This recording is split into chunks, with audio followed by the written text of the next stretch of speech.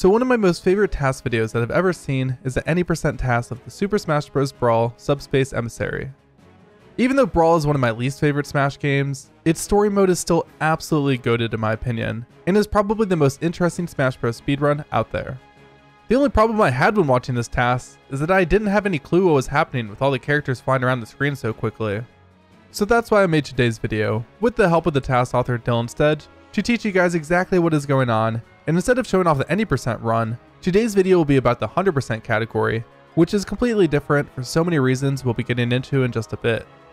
I hope you're all ready to have your minds blown, and I hope you enjoyed the video. Now, before we get into the super optimized Smash Bros gameplay, we should first make sure we're all using the most optimal browser out there, which of course would be today's video sponsor, Opera GX. Are you sick of your default browser wasting so many resources that it's almost impossible to play games alongside watching a simple YouTube video? Well, with GX Control, you have a lot more control over how much RAM, CPU, and bandwidth usage the browser uses, so you'll never have to make the decision between keeping a few tabs open or having a clean frame rate in-game. Something that really sets Opera GX apart from the competition is how customizable the browser is with GX mods. I almost couldn't believe my eyes that there was actually a Super Smash Bros. Brawl mod already made. Opera GX also has generative AI built right into it, and I was surprised by how well it worked. You can choose from either Opera GX's built-in AI prompt reader Aria, or use ChatGPT or ChatSonic. If you're on the fence with Opera GX because switching browsers is a hassle, I do understand, but to be honest, switching to Opera GX is about as painless as it gets, as not only can you import all settings and bookmarks from either Chrome, Internet Explorer, and Edge, but Opera GX is also compatible with all Chrome extensions. So if you'd like to make the switch, make sure to check out my link in the description or pinned comment. Thanks again to Opera GX for sponsoring this video. Now let's get back to the speedrun. So for starters, what exactly constitutes a 100% completed playthrough of the Subspace Emissary? As the player progresses through the story, the completion counter in the top right of the map menu screen will gradually go up. However, there are four main things that must be done in order to reach 100% completion. Firstly, there are a bunch of these gold cubes located around the game world. These gold cubes contain items, and every single gold cube must be broken with the items collected to count towards completion. These gold cubes have varying drop chances based off the difficulty the player is on. For the 100% TAS, intense difficulty is used for a plethora of reasons I'll explain later on. But one benefit is that instead of a cube dropping multiple stickers that all need to be collected, they only drop a single trophy or CD instead. Another factor for 100% completion is entering every single door in the game, including the optional doors that aren't necessary for the completion of a level. The next step in 100%ing the game is saving every single character turned into trophies. Normally in a 90% run, you can skip saving certain characters and only focus on freeing ones that make the speedrun faster. But for 100%, it requires exploring the entirety of Subspace 1 and 2 and entering all extra rooms. The final criteria for 100% completion requires the player to beat 3 secret characters after reaching the credits. This requires going back to 3 locations previously visited in the speedrun. The swamp, the forest, and the ruins. As for the speedrun itself, the run begins before the game is even launched. By starting from a fresh boot up with a Wii set to a specific time, it unlocks a useful plus weapon attack sticker for Peach, which increases the damage of her turnips and bob-ombs. Peach's bombs are used a lot throughout the speedrun for damage boosting, so the higher the damage output, the more effective the damage boost will be. A few seconds could be saved on the run if save file creation was skipped, however, after the credits roll it boots you out of the mode, and you have to return to a save file to kill the three secret characters, making a save file mandatory for the 100% run. Entering the very first fight, we'll see the first instance of RNG manipulation. After selecting Mario and performing specific movement, Kirby is manipulated into using his down special. By timing this with Mario's FLUDD, forces Kirby off the ledge, ending the fight instantly. In the next room, the player has to defeat a large wave of enemies. Peach is used here since her Stitch Face turnips and bob-ombs are the fastest damage knockback items in the game. The only problem being these items are extremely rare to pull, so the movements you're seeing in game are specifically made to ensure Peach pulls what she needs, all while hitting enemies into other enemies, and avoiding any random tripping that can occur, since it is an actual mechanic in this game. But I guess the real question here is, how does RNG manipulation in Brawl even work? Like how does Dyllon even go about routing and testing for something like this? Well luckily for us, I got the man himself to hop on here to explain. So, fortunately for me, the RNG function of this game was properly decompiled with the help of Eon, which means it's possible to understand how it goes from one value to the next. With an additional Lua script I made to read the game's RAM values, I'm able to predict exactly what the RNG will be at any point in time and take control of it. The function works like this. Every time something in the game needs to call RNG, the current value is multiplied by some constant and then added to another constant. All the digits past the first 8 are cut off, and this new value is used for whatever needed it. RNG is called by many things in this game, including enemies being on screen, graphical effects, item drops, and the player's own actions like running and attacking. One of the most common methods of RNG manipulation used here is dash dancing, where you can turn around and do a second dash up to 6 frames after you do a first one. Each dash can generate dust, which means RNG can be advanced very quickly. Taking everything into account, the RNG can be called dozens of times in a single frame if enough is happening. But thanks to the scripts I made, even if the RNG changes that much, I'm still able to know exactly when a specific item or sticker is going to be generated, or how an enemy is going to behave, which is why everything appears to go exactly as intended. In the next room, the player must defeat Petey, who is holding Peach and Zelda hostage. Kirby is chosen for this fight as his hammers are incredibly useful, and it is actually possible to damage Petey twice by hitting both him and the cage at the same time, allowing the fight to be beaten in half the time. Also, Kirby's movement is used here to manipulate Petey into only swinging the cages around, avoiding his much slower jump attack. After the fight, you have the option to save either Zelda or Peach. But as you can probably guess, Peach is just so much more beneficial throughout the run due to turnip pulls and bombs, so she gets chosen. In the next level, the objective is simple. Just get to the exit as quickly as possible. Most of the time, if a character has the ability to fly, they're usually the go-to choice for the speedrun. In the next room, he finishes the initial fight as quickly as possible, using RNG manipulation to make the enemies drop bombs. Then uses a final bomb drop to damage boost himself over to the first gold cube of the run, before once again grabbing another bomb from the Spaak enemy. This is then used to boost Pit over to the final area of the room. Here we are met with Greap, a boss you normally have to fight in order to unlock the door, but here Dyllon executes a pause glitch in order to skip it. Under normal circumstances, the camera in the Subspace Emissary functionally has two modes of operation, a side-scrolling mode and a fight mode. The side-scrolling mode is used for all the standard platforming sections of Subspace, characterized by blast zones being tied to the camera, the camera always exclusively following the player, and the camera freezing when the player gets hit. In contrast, the camera's fight mode has the camera focus on the whole battle area in general, doesn't have the blast zones tied to the camera itself, and doesn't freeze when the player gets hit. By pausing on the frame a fight is supposed to start, we're able to keep the camera stuck in its side-scrolling mode, despite the fact that it should still be in fight mode. As a result, the camera remains focused on the player, and the blast zones that are normally tied to the camera don't disappear like usual. If an enemy is beyond the camera's blast zones in this case, they despawn immediately, which means with some clever movement it's possible to clear fights using the glitch without needing to attack or fight anything. In the next room, Pit's up special trick is used once again to get to the bottom platform quickly, but once here, the player has to wait for a brief auto-scrolling section. While waiting, Pit takes some damage off screen, which will be used later in the level for increased damage boosting.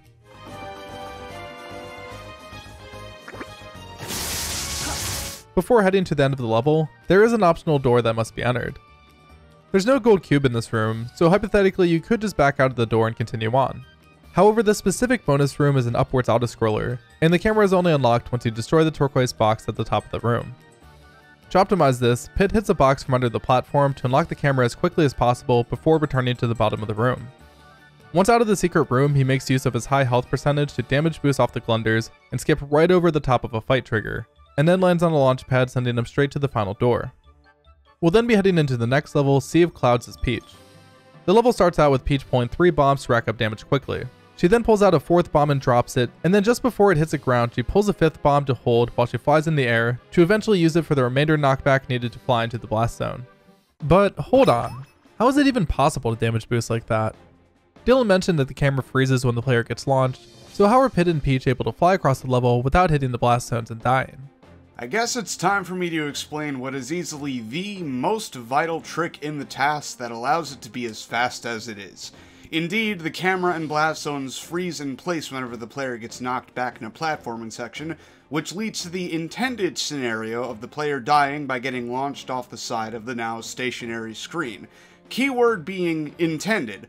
It turns out that the developers didn't test everything properly because there are ways to exploit this and make the camera not freeze in place. One way to do this is by getting hit when the camera is still in fight mode, and then launching when the camera goes back to its side-scrolling mode. This works because the player technically wasn't hit when the camera was in its side-scrolling mode, so the camera doesn't freeze. We kinda glossed over this method being used during that fight in Skyworld. But the truly broken exploit, the one that can be used almost anywhere in the game, is when you take knockback as you're moving into a wall or a ceiling. Doing this immediately puts you in an animation where you're bouncing against the thing you were moving into, and the game only freezes the camera when you're in the standard animation for taking damage. They didn't put a check in for the other animations. And so, I named this technique the Bounce Boost. And with it, it's possible to fly almost everywhere without freezing the camera at all. In the next room, the constant RNG manipulation and damage boosting continues as Peach resumes blowing herself up across the level. Midway through, she'll take a brief stop at an optional door which contains no gold cube, allowing her to just simply enter and exit. On the way to the exit, Peach's damage percentage actually becomes too high to be able to damage abuse to the end, so Dyllon manips a Maxim Tomato to drop from a Poppant to restore a small amount of health before pulling another bomb to skip to the end. In the next room, he performs a damage boost and carefully lands Peach above the first fight with the generator. After landing, Peach grabs a Stitch Face and defeats the generator from above in only a few frames. Just like the last room, we'll see Peach pull a secondary bomb just before the first one lands to continue stringing damage boosts in the air. The second boost here sends Peach below to the next generator. Here there are a few enemies that you need to defeat. However, by executing a pause glitch just as Peach flies towards the generator, the camera freezes and all the enemies spawn outside of the camera's blast zones, and immediately despawn. The only enemy that doesn't despawn is the generator itself, so by quickly pulling another Stitch Face, she can rapidly kill the generator from above. In the next level of the jungle, Donkey Kong is chosen over Diddy Kong, as his air mobility is far superior due to the usefulness of his up special.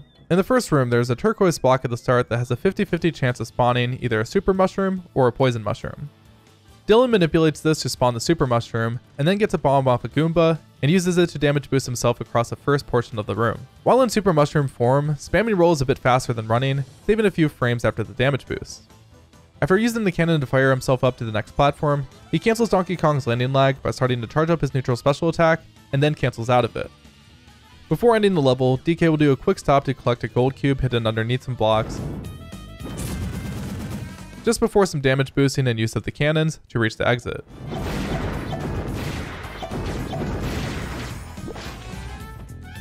In the next room, he uses some foxtrotting again to manip a super mushroom drop from the Goomba. He has to pick up a trophy hidden behind a blockade, which he breaks by using down tilt to hit the trigger to break the blocks. After grabbing the trophy, he jumps up and uses the Koopa to boost himself to a secret optional door. This room contains no gold cubes, so yet again, he can just immediately exit. Afterwards, he'll use the same Koopa again to set up for a damage boost, and then get another massive boost from the red paratroopa. With all the height gained from this boost, he's able to use it to fly right over a fight trigger. On his way to the exit, it briefly appears as if Donkey Kong walks on air, However, this is just a visual glitch, as the level is only partially initialized due to the triggers being skipped. The next room is an upwards auto-scroller. So for the first part, all DK is doing is just grabbing as many stickers as he can possibly grab off enemies,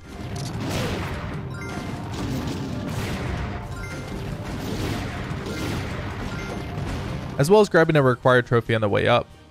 Once enough of the auto-scroller is played through, we can see some pretty funny movement here, as DK drops to a platform off-screen, taunts, gets hit by a stray hammer, and uses that damage boost to reach the next door the same frame it loads in.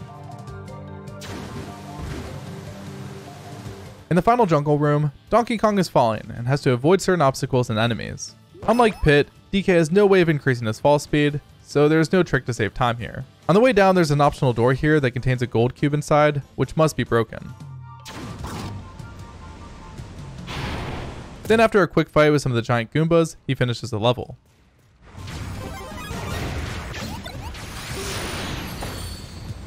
Next we're on to the level of the plains, and we'll be starting at this level as Pit again to make use of his flying abilities.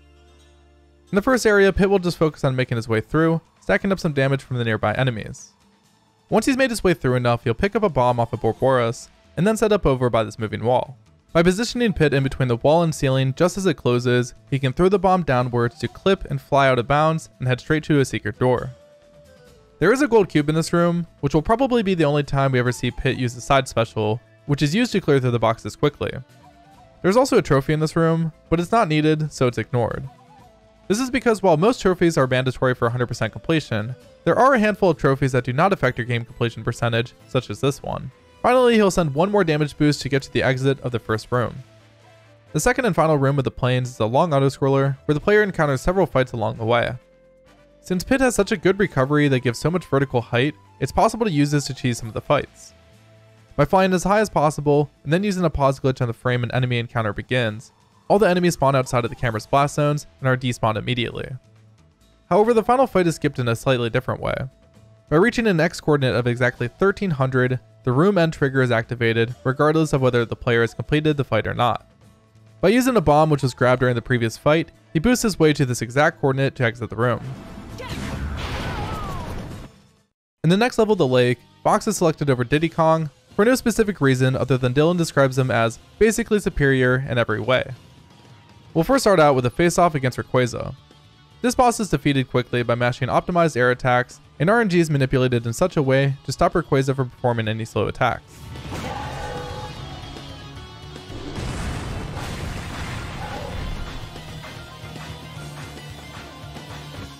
The rest of the level requires the player to enter a series of different rooms and hit certain triggers in order to progress.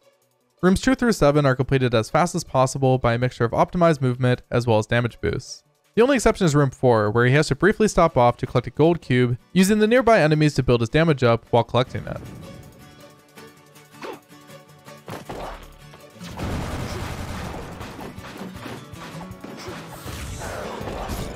In room 8, a pause glitch is used to despawn the giant Goomba, as well as a few of the smaller Goombas.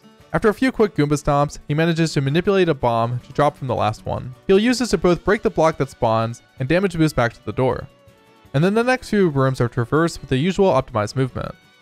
Room 12 begins as an auto-scroller, so Fox does some more sticker farming. At some point, Fox will use the side special to land in front of an optional door and open it on the first frame it appears. After doing some perfectly timed attacks to hit the two rails into the blocks and collecting the gold cube at the top, he heads back out. Back in the auto-scroller, he spends most of it doing specific movements and positioning enemies in such a way to manipulate the RNG to be perfect for the next room ahead.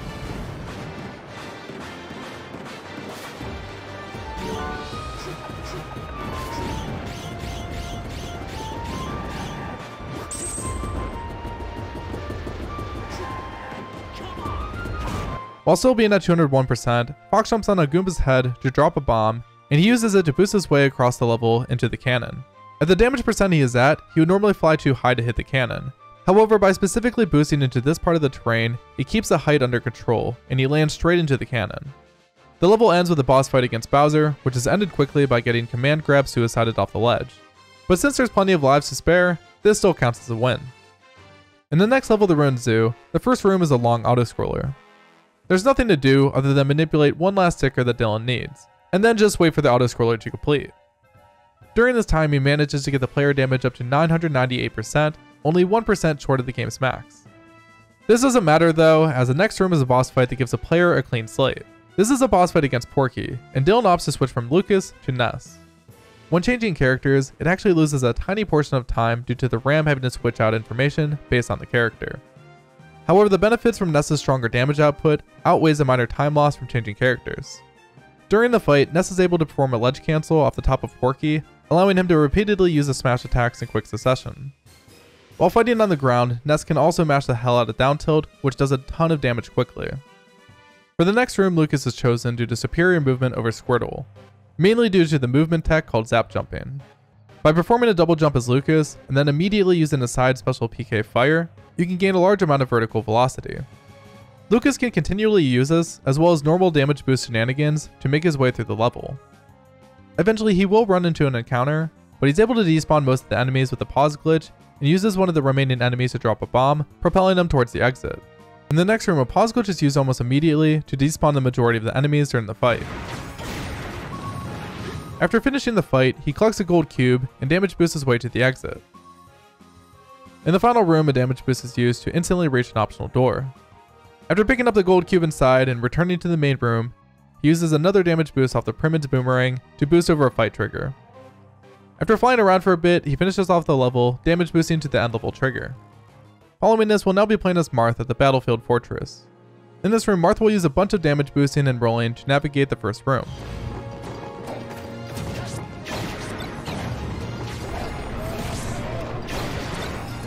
Which also includes entering an optional door contained in a gold cube. In the second room, he runs just far enough to spawn in one of the rotors, before running backwards and using the rotor to backboard him off the right wall to propel himself to the end of the level. Dyllon now switches to Meta Knight, who is not only top tier in competitive play, but the same applies to subspace as well. Firstly, he fights off a wave of robot enemies with optimized mechanics and RNG manipulation to drop bombs, something which is already incredibly difficult to do, but especially in this fight, due to the enemies having a 77% chance not to drop any item at all.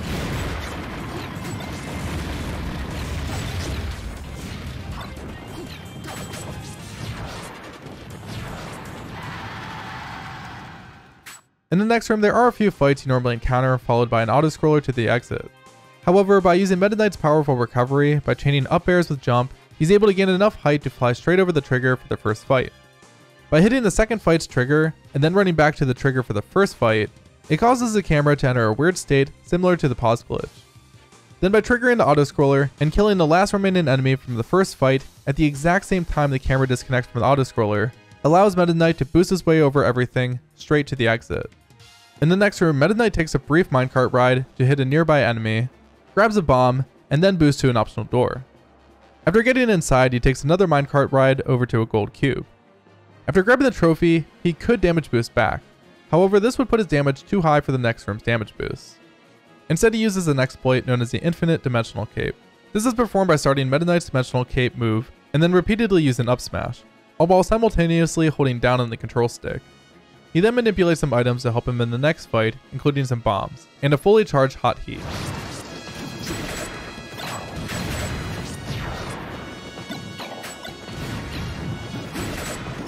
This is then followed by the usual damage boosting shenanigans to quickly get to the final minecart. The next two rooms are a combination of infinite dimensional cape usage as well as damage boosting to fly over the final fight trigger.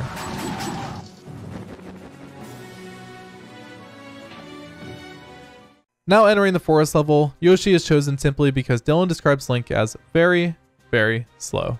In the first room, after using a quick pause glitch to set up for the first fight, there is an optional door, once again containing a gold cube, that needs to be collected. Then after some damage boosting and another pause glitch, Dyllon can make his way to the next room. In this room, Yoshi grabs a bomb from the Trowlon straight away, which is used to damage boost across a portion of the level, where he then grabs another bomb from the Auroros to fire himself towards the next fight and uses a sidestep dodge to hold his momentum perfectly before the fight trigger. Then a pause glitch is used to end the fight. He has to briefly wait without re-entering the fight zone to allow the fight to end. However, he can't go too far to the right, otherwise he will hit the blast zones of the actual fight area. So he is stuck above a large drop that would kill him if he fell down. Luckily using Yoshi's decent recovery, and also a hit from a Primid enemy that actually isn't even supposed to have loaded in yet, he's able to last just long enough to land back on one of the fight platforms before continuing through the room. Using damage boosts, he traverses the rest of the room, including the collection of a gold cube hidden behind these blocks. In the final room, he uses a Phaos attack to boost himself over the entire level, and then a Shell Pod attack to boost himself up to the top of the level. Then with an MLG egg throw, he hits a switch and immediately uses another Phaos attack to boost himself to the end of the room. Moving on to Research Facility 1, the level starts out with Zero Suit Samus, who will use a couple dash attacks to get past the first blocks. The second room is pretty straightforward, and a handful of damage boosts will be used to clear it, all while grabbing a gold cube along the way.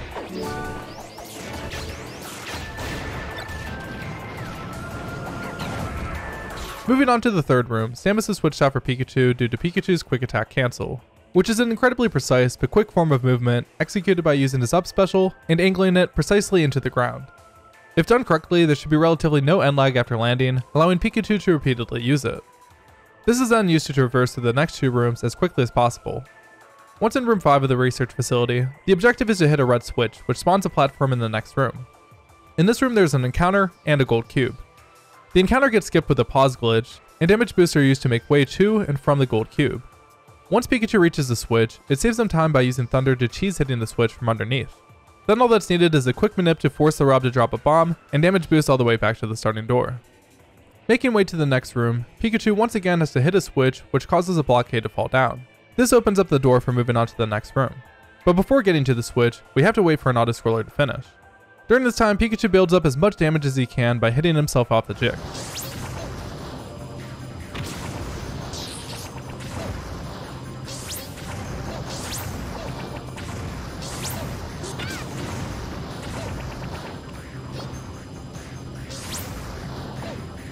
Once at the end, he kills a Glunder and grabs a bomb off it, and uses it to hit a switch, and then performs a damage boost to go back to the original door.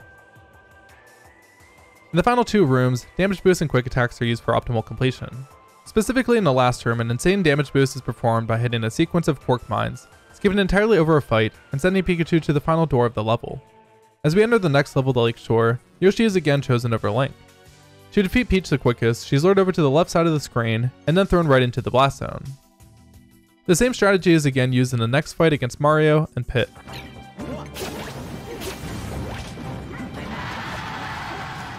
Following these fights, Yoshi is chosen again due to having superior speed overall, and since he was already selected, no extra loading times will occur. By utilizing Yoshi's side special and a few damage boosts, he travels through this platform as quickly as possible to start an auto-scroller.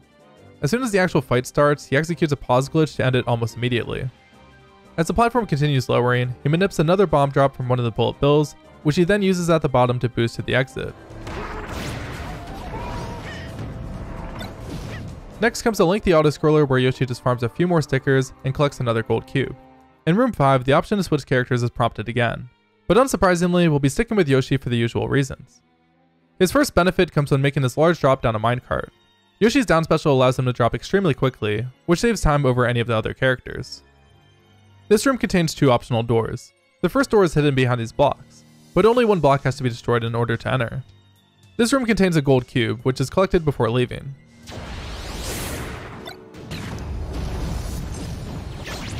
For the second optional door, he has to make his way towards the end of the level and defeat the Shaydas.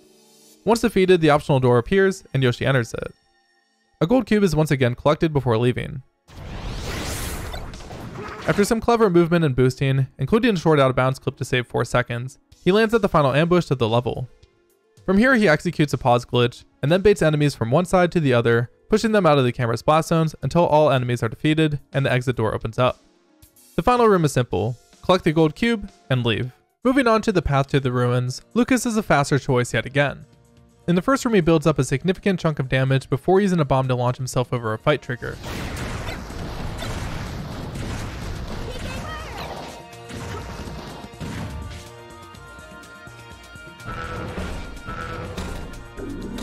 Then using a damage boost from the Gagimus attack, he makes his way to an optional door. This secret room is quite different to all the others as it contains 4 collectibles mandatory for 100% completion, all completely surrounded by breakable blocks. Once finished collecting the items and leaving the optional room, he collects a gold cube before moving on to the next room. This room is quite large and contains a few different fights, auto-scrollers and platforming sections, as well as a gold cube to pick up. Lucas makes his way through the first three fights using a handful of different item drops, as well as pause glitches to get through them as fast as possible, and also collects a gold cube during his time. He then performs a precisely timed damage boost to fire himself over the top of the auto-scroller. While maintaining the velocity from the explosion, Lucas is able to clip into a pillar and continues being launched up to the door to exit the room. After quickly navigating through a simple room, he ends the level with a fight against Wario. This is won quickly using the same technique of luring enemies to the edge of the screen and then just throwing them into the blast zone, which is pretty much the case for all the walk-off stages. Now entering the cave level, there are two 100% objectives in the first room. After dealing with the fight at the start, Yoshi grabs a bomb off an enemy, and then makes his way to the first of the objectives, which is the secret door.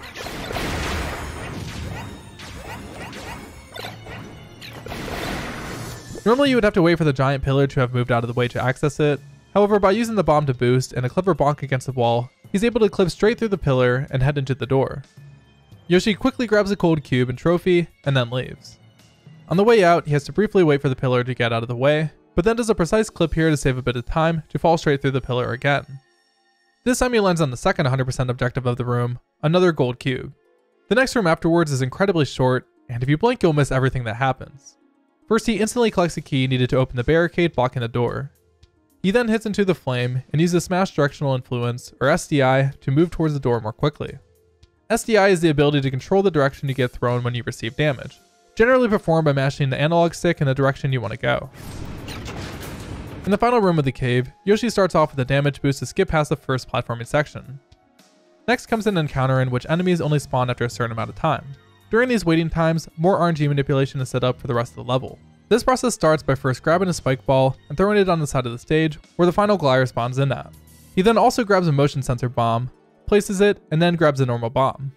At the same time as the glider dives to the spike ball, he uses a motion sensor bomb to clip out of bounds, and then uses a bomb in hand for another boost. Due to the way this level is set up, it's impossible to skip over the giant Goomba fight, even from out of bounds. However, by using the trusty pause glitch, the fight is taken care of relatively quickly.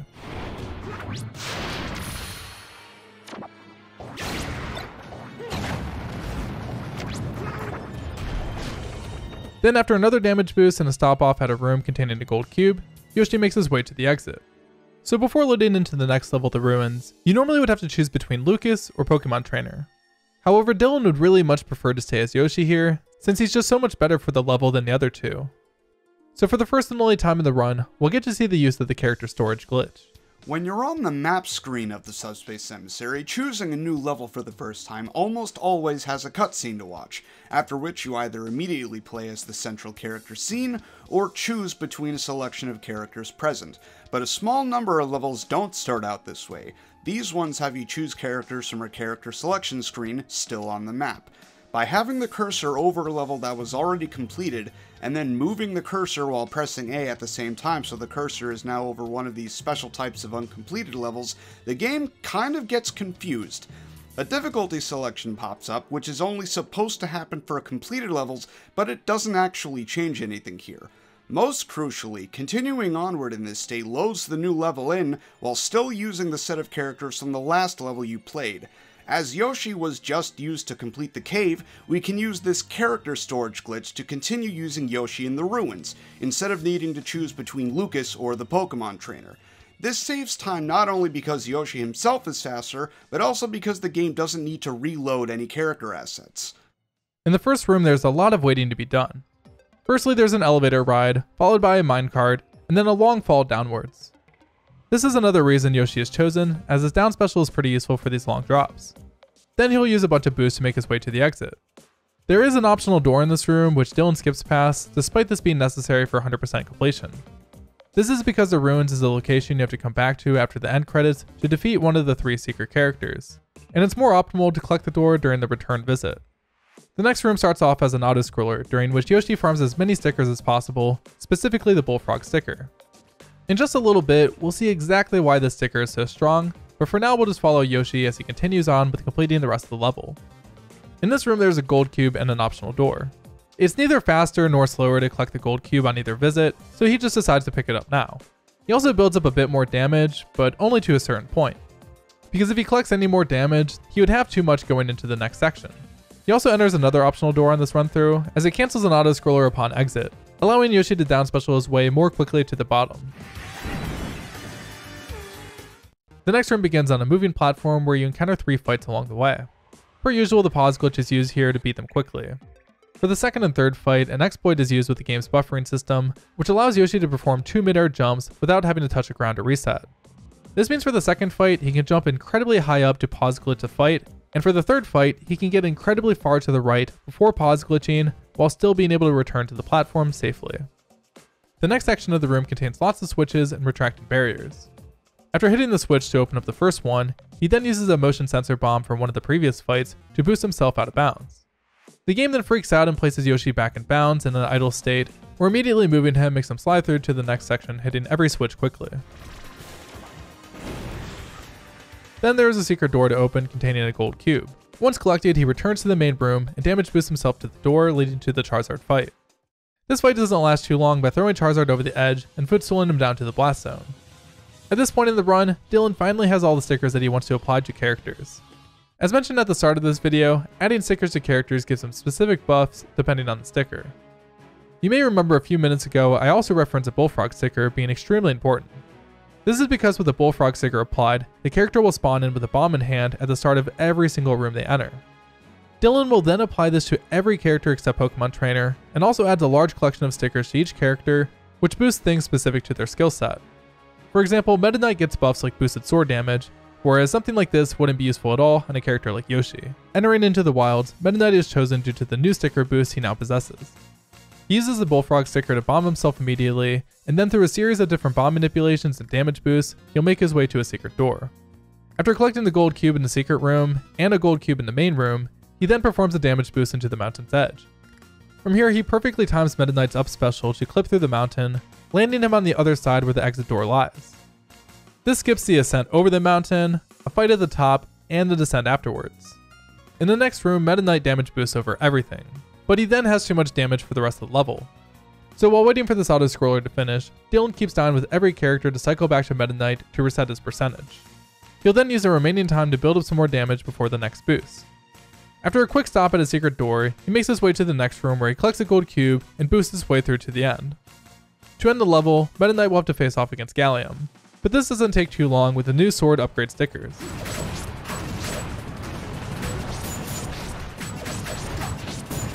The next level, Ruined Hall, is a relatively short level, only containing a single boss fight. By using Charizard, Galleom is once again defeated quickly by spamming Rock Smash, which is now ridiculously strong due to the Pokemon Trainer sticker set. Entering the Wilds 2, Dyllon chooses Pit with Yoshi as a second character. After starting the level by damage boosting and flying over a fight trigger, he gets to a place where the camera freezes and he can't progress any further. This is the first time during the run where the regional version of the game matters. In any version other than PAL, dying here would send you back to the start of the level. However, for whatever reason in the PAL version, dying here just places you into the next section, allowing Dyllon to carry on as Yoshi. He'll then complete a secret room, and upon exiting, he'll set up on this lift to clip through the terrain and boost to the end of the room. In the next room, he performs a precisely aimed damage boost, which allows him to quickly tech off a ledge, where he then kills an enemy and uses bomb dropped off of it to perform another boost over to the auto-scroller. Then after a quick gold cube collection and damage boost, he makes his way out of the level. The swamp is another level like the ruins, where you'll return to it after the credits to defeat one of the three secret characters. The first collectible we come across is Gold Cube in the first room, which is collected on this run since when level is returned to as Peach, she's incapable of reaching the cube placed here due to her fall speed. In the next room, Fox performs some quick boosting and takes out an ambush before hitting autoscroller.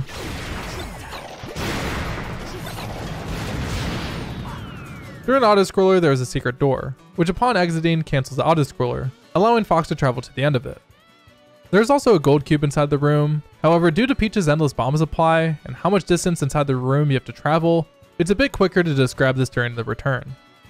In the next room, we come across a fight with Diddy Kong, which of course is won quickly by baiting him to the blast zone and throwing him right into it. Fox will spawn into the next section, boosting with these machines until he reaches a fight trigger, and then uses a bomb in hand to skip over it. Then he'll just use these cannons to traverse to the end of the room. These cannons aren't able to be manipulated, so a tiny amount of time is lost to waiting for these cannons to point at the right angle. The return visit doesn't go any further than this room, so every collectible from this point forward will need to be collected now. In the next room, by using Boost and Fox's side special for optimal movement, you'll grab another gold cube and head into a secret room. The next room contains two auto-scrollers separated by an ambush in the middle. For some reason, this ambush can't be skipped using a pause glitch, as enemies strangely always spawn back in, so it has to be cleared through properly. Then once the auto-scroller has been progressed through far enough, a boost will be used at the end to reach the end of level trigger. We'll now be playing as Pikachu entering Research Facility 2. Pikachu starts out by making his way through the first room, hitting switches to open specific barriers. There is an optional door that must be collected, but luckily it's positioned right next to the exit door. The next room is literally just a corridor, and following it, we'll enter a fight with two Dark Samuses. Pikachu clears them both quickly by building up their damage using Thunder, and finishes them off with a bomb in hand. In the next room, there's a hidden trophy which must be collected for 100% completion. After collecting it, Pikachu builds up damage, and then uses one of the Rob's missiles to launch himself to the exit. The next room has a very complicated layout, and possesses an optional door containing a gold cube. However, the abstract layout of the room is no match for Dyllon, who navigates quickly through it by using a sequence of damage boosts. Once completed, Pikachu returns to the main room and boosts the exit.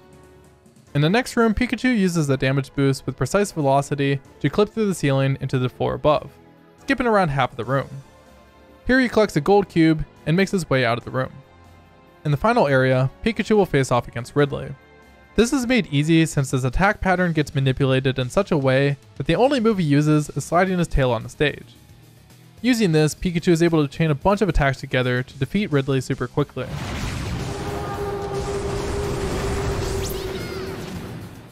In the next level Path to the Ancient Ruins, Captain Falcon will be the superior character choice.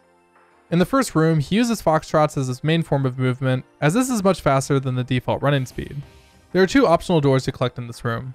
the first of which contains a falling trophy, which has to be collected before it falls into the pit. Next comes a quick fight in which a pause glitch is used to end it instantly, and then a boost is used to reach the exit door. In the next room, there is another large-scale ambush of enemies, which he takes down quickly with the use of optimal item drops, as well as precise use of the cracker launcher. Meta Knight is then chosen for the next level Glacial Peak, where damage boosts are used to very quickly make his way up to the top of the first room. Due to the immense amount of speed buildup, Meta Knight actually has way too much momentum and has to do a ledge grab by the final door to stop himself from flying way above it. Next comes a very long autoscroller, and Dyllon uses the exact same method as a Wilds 1 to reduce his damage for the next room by cycling through all the characters to get Meta Knight back with a clean slate. Then there is also a gold cube which he collects on his way up. The next room contains two optional doors separated by a fight, which of course is skipped by using a damage boost into a pause glitch to skip the fight as fast as possible. For whatever reason, this fight is unique as the upper blast zone is partially disabled, meaning Meta Knight can boost however high he likes after pause glitching so long as he doesn't land on any platforms to register as being too high. On the frame that the fight is over, he touches the ground and enters the second optional door to collect what he needs, and then moves on to the next room where he quickly disposes of Lucario. The next level of the cannon is pretty quick and contains another large ambush fight. By manipulating super mushrooms and explosives, as well as baiting some of the primids into jumping into the pit, this fight is taken care of with ease. Now playing as Snake, we enter into the Battleship Halberd interior. Here Dyllon makes use of a movement tech called Dacus, which stands for Dash Attack Cancelled Up Smash. By cancelling a dash attack with an up smash, you can gain significant speed boost, which works extremely well with Snake. Snake will use these in the second room, followed by some boosts to quickly make his way to the falling platforms. He uses a C4 charge to hit the button to unlock a hidden door, and avoids taking damage by it due to the invincibility frames he still has from the previous damage taken. He then collects the gold cube in the secret room and moves on boosting to the end door. Dyllon will then switch over to Meta Knight due to his movement being the most useful for the rest of the level. At the start of the next room, there's no ceiling at the top, meaning it is possible to skip the whole room by clipping through it. But it can't be done in this run, as Meta Knight has to traverse through this section normally to reach a secret door containing a gold cube. But then after leaving the secret room, it is actually quicker to return to the start and skip the whole level using the gap in the ceiling.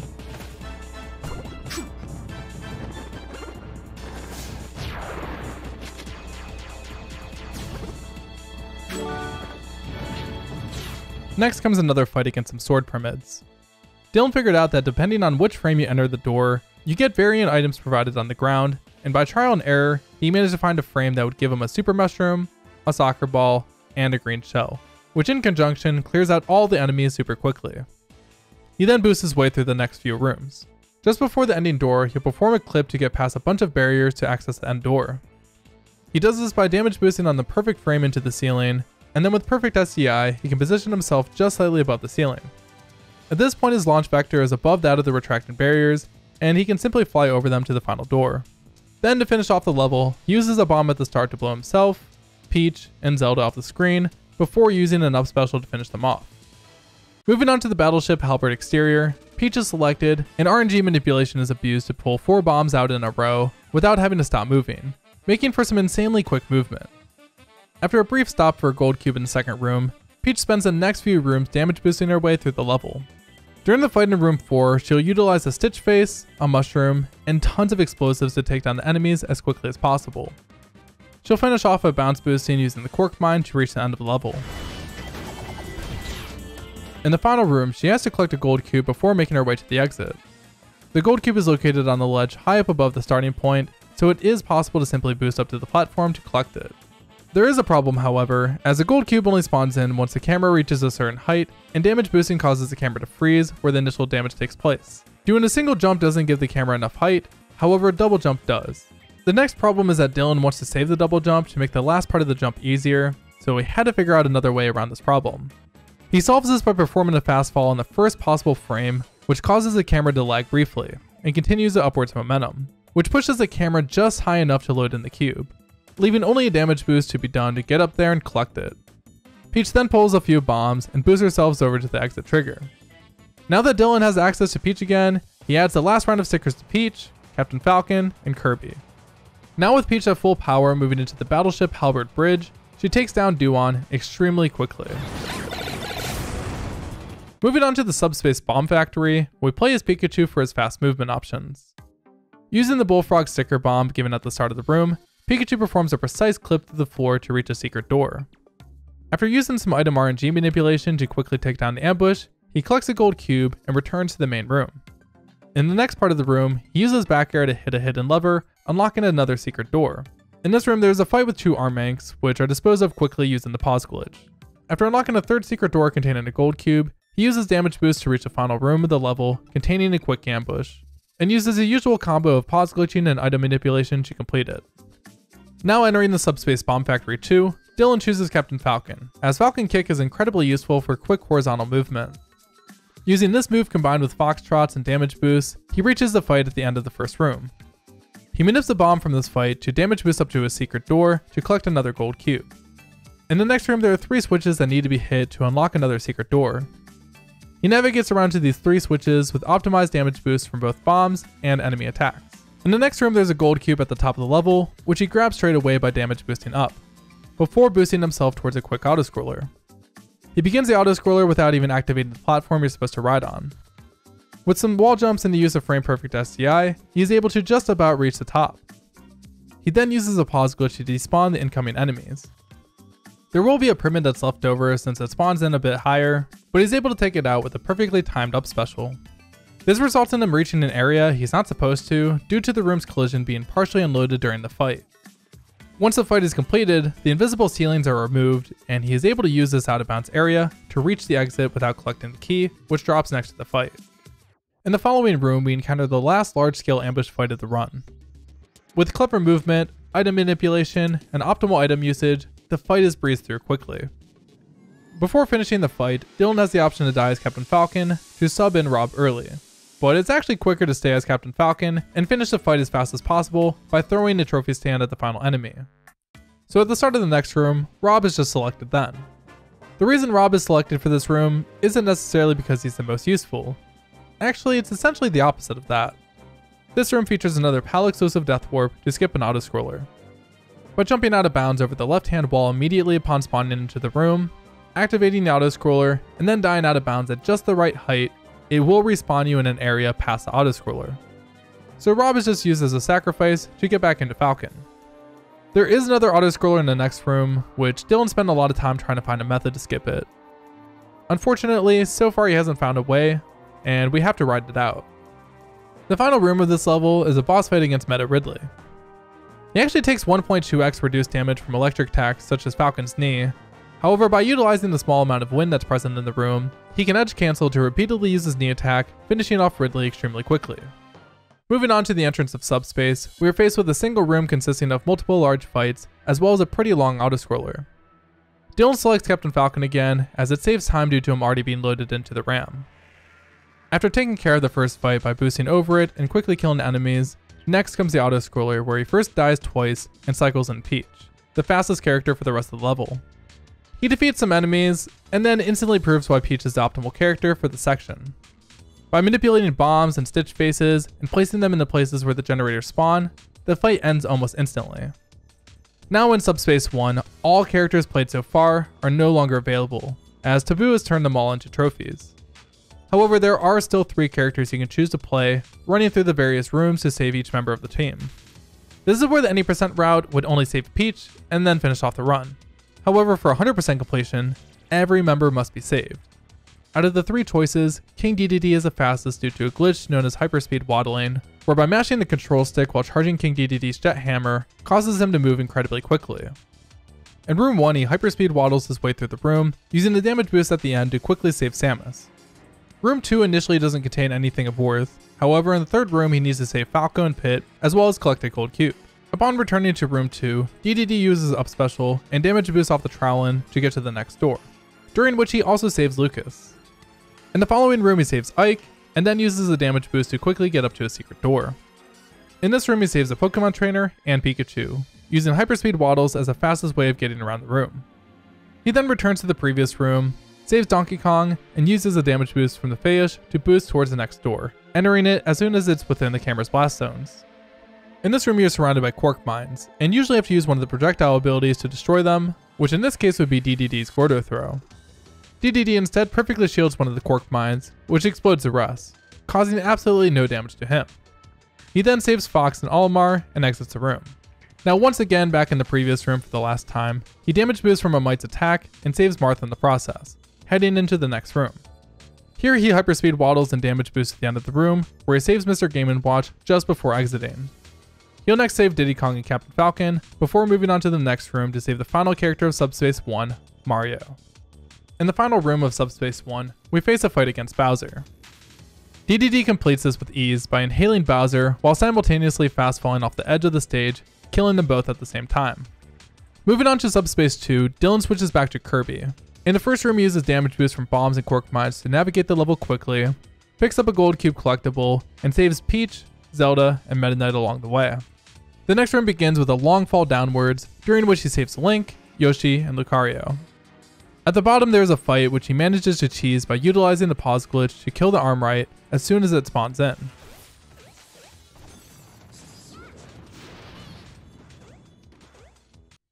During a short auto-scroller, he manipulates a green shell, which he uses alongside a pause glitch to end the fight instantly. He hovers for a moment to allow Rob's trophy to spawn in, which he then collects and moves on. In the final room, he starts off by bounce boosting in a specific direction to fly across the level. He then saves the ice climbers and damage boosts towards a gold cube. Afterwards, he boosts his way up to the next fight, using some clever movement mechanics, including the use of SDI, to reach the upper platform. He waits for Snake's trophy to drop, during which the Ticken he was supposed to fight manages to fall off the edge into the abyss. He then runs over and damage boosts from the Roturret attack and pause glitches just before he dies. This despawns the several Gamyga you're supposed to fight, and despite dying, this is actually much faster than having to actually fight them. He then immediately starts running towards the right, which he spawns the Tickens that remain, ending the fight instantly. Now all that's left to do is to collect Wario and exit the level. Finally, we'll now be entering the Great Maze, the final level of the game, with Peach selected for obvious reasons. The Great Maze, just like every other level, has a series of optional doors within some of the rooms. However, unlike the other levels, not all of these need to be entered for 100% completion. Each main room may have a selection of optional doors, and only one needs to be visited for the game to count the level as 100% completed. Despite being the 100% route, and the requirements for gold cubes and optional doors get in the way, Dyllon's advanced knowledge of RNG manipulation means he actually manages to navigate the entirety of the Great Maze in a faster time than any percent TAS. Or at least the old any percent TAS, as only a few days ago, he recently released a new one that you all should check out after watching this. Despite being the final level, navigation is relatively straightforward, as Peach uses a bunch of damage boosts to surge through the whole area. At one point, she even clips through the floor in the forest section to skip re-entering certain rooms. Finally, he makes his way to the final fight against Tabuu. Here we are.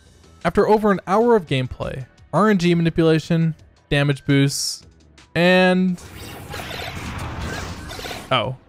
He's already finished the fight. What can I say? Peach is pretty OP. Now all that's left to do is sit through the credits and revisit the three areas mentioned at the start of the video to complete the secret characters. The first place revisited is the forest. The secret door for this level opens up just at the location of the first fight. Peach then damage boosts, grabs a bomb, and uses a pause glitch to keep the door in range of the camera's blast zones. She then uses a bomb to boost back over to the door to enter the fight with Toon Link. Unlike all of the other boss fights in the game, these bonus fights are fought on actual brawl stages.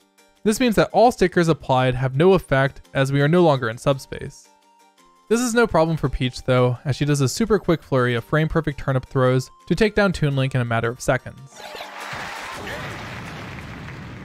After the fight is over, Peach pulls two bombs at the start of the ruins. With a great level of damage buildup, she's able to super quickly navigate the first room by first corner clipping through the elevator to skip having to wait, and then boost to the door. In the second room, Dyllon fools around during his auto-scroller, which is ended prematurely by quickly entering and exiting a secret door at the bottom. The door to the secret boss fight with Wolf is only a mere damage boost away, and the fight itself is once again taken care of within seconds. Finally, we enter the swamp. The first room is navigated by, you guessed it, more damage boosts. In the second room, Dyllon made an insane discovery. He figured out that instead of pause glitching at the start of a fight to keep the camera from locking into the fight's blast zones, he found that by pause glitching as soon as you come out of a fight has a potential to skip things such as auto-scrollers. This actually could be used in several other locations during the speedrun, however as you can understand, being only mere minutes from the end of this TAS, it wasn't really feasible for Dyllon to go all the way back to add in each application, and instead we'll just have to wait till this TAS gets updated. But it's still a really cool discovery nonetheless. In this instance, he uses a reverse pause glitch to skip a long autoscroller after the fight, allowing him to simply damage boost his way up to the next door. He then collects a gold cube, which he ignored in the first swamp visit, as it is more optimal to grab it now, before returning to the previous room. Unfortunately on this occasion, he isn't coming from a fight and has to sit through the autoscroller, before entering the next room and fighting Diddy again in the same way he did on the first visit by luring him off to the left of the blast zone and pushing him into the abyss. Moving into the penultimate room of the speedrun, your damage is usually reset. However, for whatever reason on the revisit, your damage remains after the Diddy fight, meaning Dyllon can do a pretty strong damage boost at the start across the level. The only problem is that his damage is now too high to skip the fight near the final door, which he has to do normally. And when I say normally, really what I mean is using a pause glitch and some item manipulation to get through it in seconds. This leaves a grand finale and final boss fight of the speedrun, Jigglypuff. And before you even have time to blink, the speedrun is over, using the usual method to destroy Jigglypuff in a matter of seconds. We now see that his track percentage on the map screen is at 100%, and every single secret fight is done, every optional door entered, every gold cube collected, and every character saved, thus concluding Dyllon's 100% TAS of Super Smash Bros. Brawl, the Subspace Emissary. Anyways guys, I hope you enjoyed today's video. If you did, be sure to leave a like, as it did take a ton of time to create. Special thanks again to Dyllon for letting me show off this TAS.